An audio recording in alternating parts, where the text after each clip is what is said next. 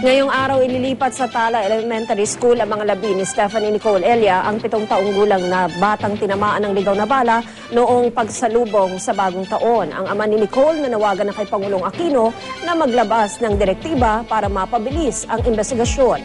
Alamin natin ang iba pang detalye sa ulat ni Micaela Papa. Mika?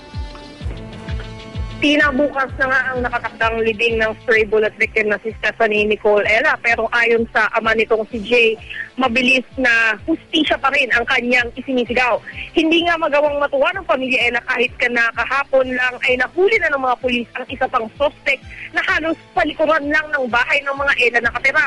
Mismo si Jay ang nagsabi na nababagalan siya sa usad ng investigasyon at di rin niya mapigil na mag-alala na baka ma-false alarm na naman ang bagong suspect na naaresto na si Grinda na halos kapit-bahay lang pala nila.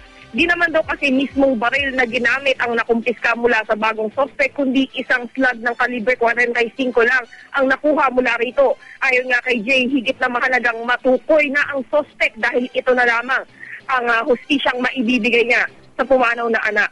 Sa kabila nito, nadidismaya si Jay na ang pinakamabigat na pwedeng isang palaban sa suspect ay alarm and scandal.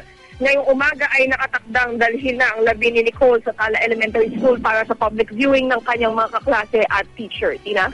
Maraming salamat, Micaela Papa.